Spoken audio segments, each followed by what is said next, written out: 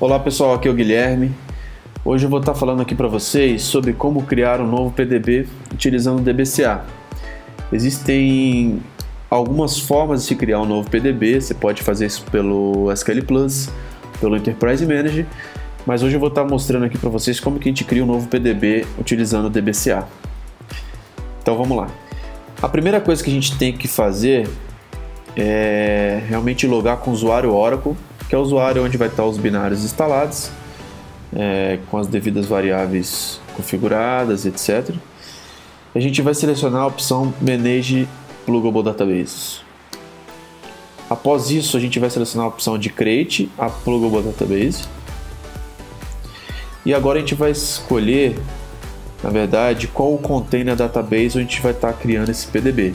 Então a gente vai criar dentro do CDB a gente precisa de um usuário com privilégio sysdba para poder fazer essa criação. Então vou informar aqui o usuário sys.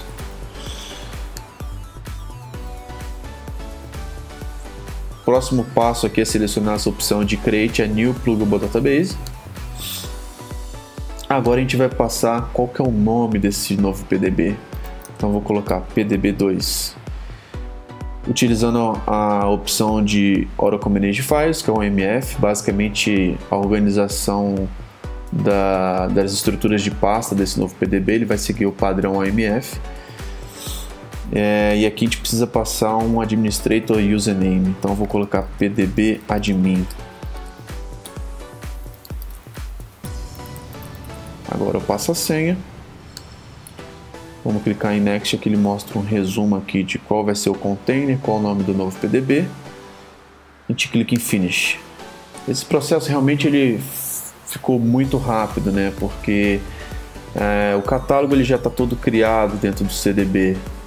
Então, na hora de fazer a criação de um novo PD, PDB, é um processo realmente muito otimizado, onde basicamente ele vai criar é, a nova estrutura do Plugable Database.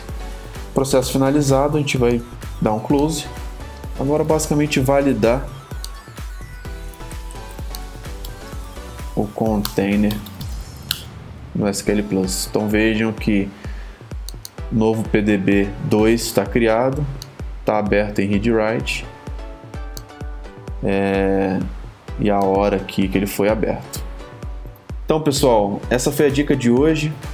Se você gostou, clique em curtir. Não esqueça de se inscrever no nosso canal para receber a notificação dos próximos vídeos. Fique à vontade aí para deixar seu comentário e até mesmo uma dica aí do que você quer ver no próximo post.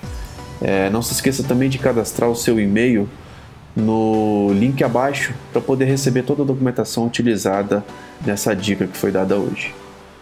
É, até a próxima!